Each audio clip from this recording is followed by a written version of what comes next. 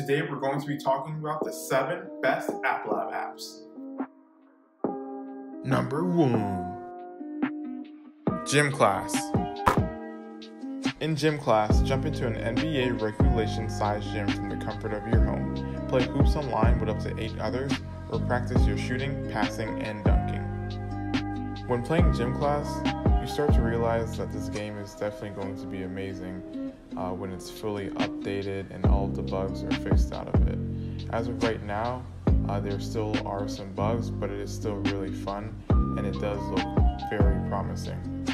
The one thing I do really want for this game is a way to dribble. Like, it's really hard to dribble in this game, and you don't really see many people doing it just because there's no point. Uh, but other than that, this game is pretty good. Number two, Find My iPhone app in VR. Find My iPhone app, the game, is basically a short story driven exploration comedy. Your phone is missing, and you basically have to find your phone. Hello. Thank you for using Find My Phone, the number one highest rated tablet app on the tablet store. We are now searching for your device. We've located your phone. We've determined that your phone is definitely within a 50 kilometer radius of your current location. Thankfully, you've got the Find My iPhone app on your tablet. So you just go through uh, the environments and uh, scan. Hey, a cardboard box. Maybe your phone's inside? No, probably not.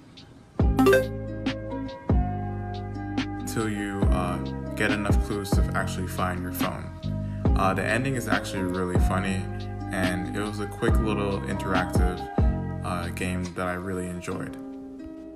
The game can be pretty glitchy sometimes, but overall, it's a pretty cool game. Number 3 Artgate.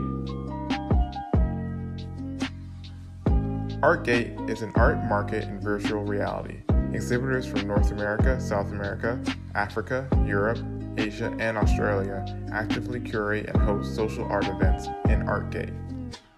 You can visit each exhibit by simply walking or using your menu.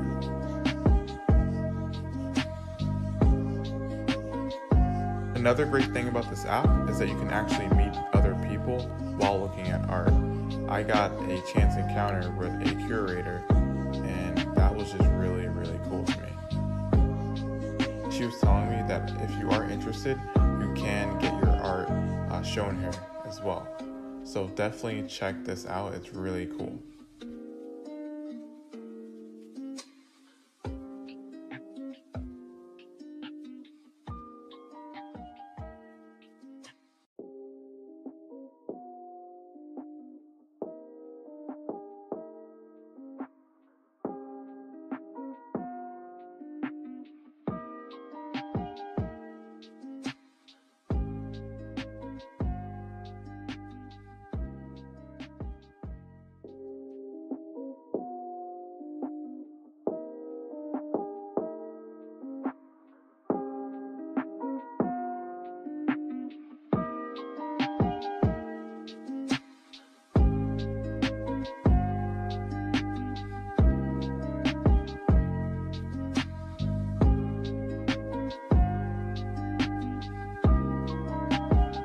One thing I do have to say about this app is that it does have one really big glitch. Uh, sometimes when you are moving uh, to different exhibits, it might completely freeze and you might have to just completely restart the app. Um, other than that, I really like this app and it was a cool experience.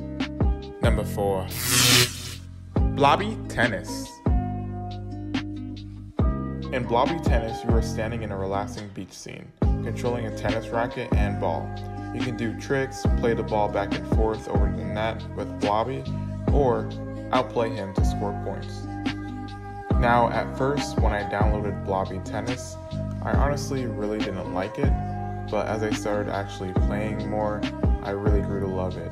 Uh, there is a huge learning curve, but once you get past it, it's super fun. The controls are pretty easy to pick up, and you can actually switch hands by just pressing the A button. So it was really, really fun. And I could also see a future where it's like a super intense sport and people are playing each other and they're switching hands as the ball comes toward the left hand or the right hand. Uh, so this was a great experience, and I absolutely love uh, playing this game. Number five Gun Raiders. Gun Raiders is basically a competitive shooter in VR. Uh, it's almost like uh, Warzone in a way, or better yet, Apex Legends, in the sense where you can ping uh, where you want to go or where you want your uh, teammates to go. Uh, it's actually really well thought out, and there's not really many glitches at all.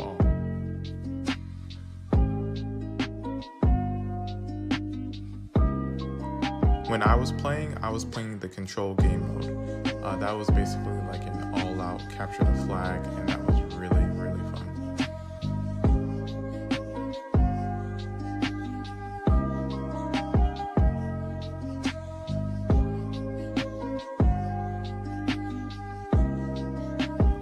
The tutorial was very helpful and super easy to understand.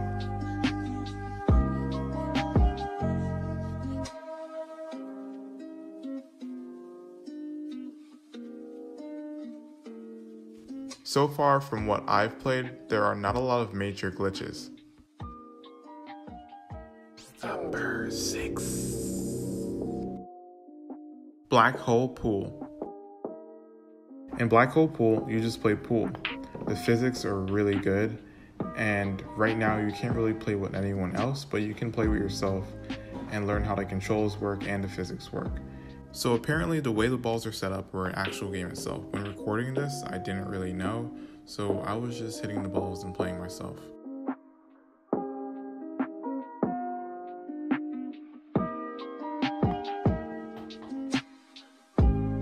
The controllers are very easy to master, and the instructions are always posted in the game. So far from what I have seen, uh, there's only one glitch in this game, and that is if you press the universal menu, then uh, get out of the universal menu, you'll be stuck in the middle of the pool table. So the only way I know how to get out of this glitch is if uh, you actually physically walk out of the pool table, and then you should be fine.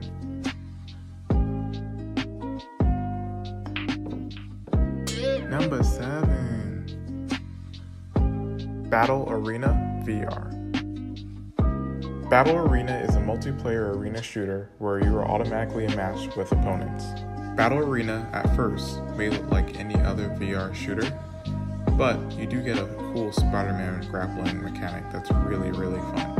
Uh, so I don't know if I'm just really slow, but the tutorial in this game really did not help me a lot, and it was only through playing the game that I realized how everything worked.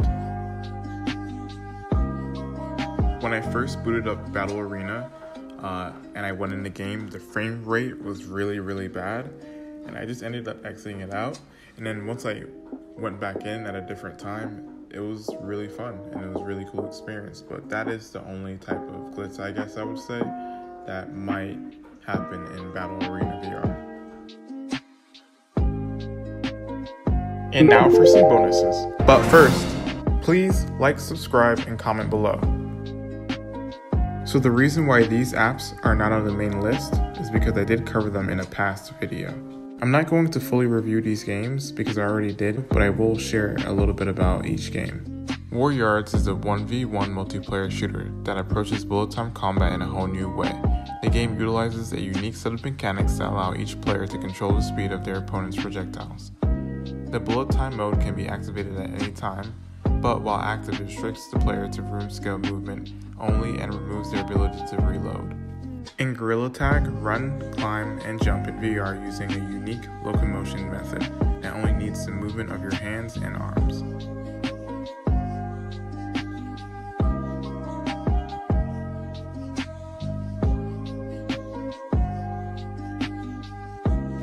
Push off surfaces to jump and squeeze them with both hands to climb. The game mode is a simple tag for up to 3 players, or infected mode with 4 or more. Run from infected gorillas or outmaneuver the survivors to catch them. And parkour up trees and cliffs. Zoe is the only app in the bonus category that I have not reviewed on a separate video. I'm only giving this a small review because it's a pretty straightforward app, but I still would like to let you guys know about it because it is pretty cool. Zoe is a learning platform letting you design, visually program, and play your own interactive experiences within your headset. When you first get into the game, if you're like me, you're not going to know anything of what to do. But if you just mess around, you can basically learn how the game works in maybe 10, 15, or 20 minutes or so.